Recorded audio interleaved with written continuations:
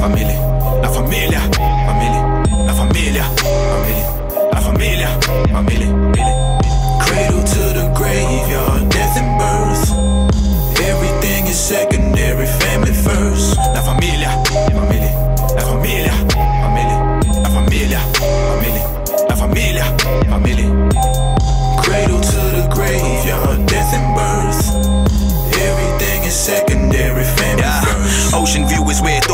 with my forefathers. I wasn't born Robert.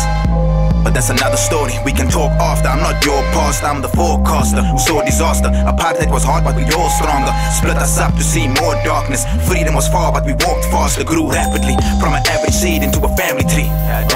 We lived happily in the flats and streets where the gangsters be. Uh, a lot of concrete roses, one thing I know is fame can't be chosen. Uh, no matter where I live, it's irrelevant. I love my relatives. Yeah, what a combination, multicolored faces, all blood related. Yeah, my cousin's crazy ancestors trace me to my birthplace. We shared everything, plus surnames. That's before the apps and the cell phones. I was well known, I used to sell clothes. I can't talk about it cause it's family business. Arabian gangsters and the Christians are my La familia, familia,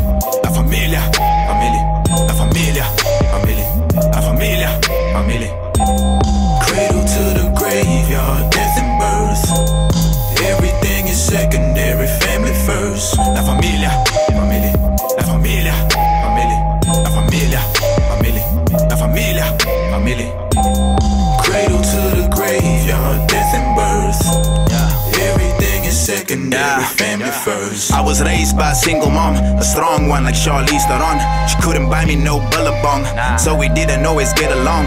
I'm the one the cousins picking on. Fighting, then we watched Digimon.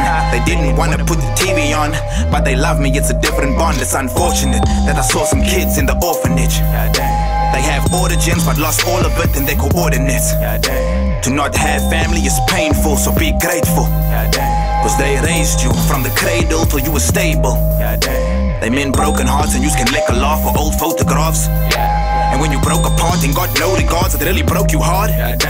Because there isn't a difference. Look at the lineage, their significance, relative distances, Eids and Christmases, family visited. They will benefit when they've inherited my La familia, familia, la familia, familia, la familia, familia, la familia, familia. Cradle to the graveyard, death and birth. Everything is secondary, family first. La familia,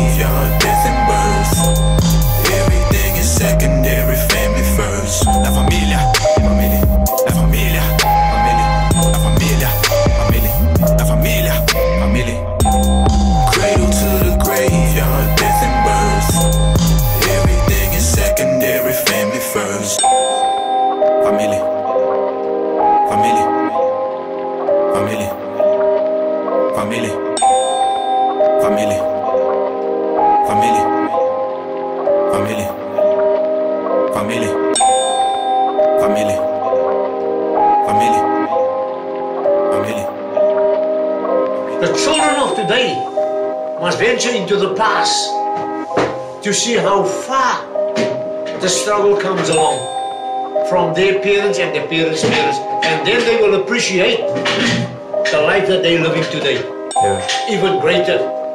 And they'll appreciate their parents even greater.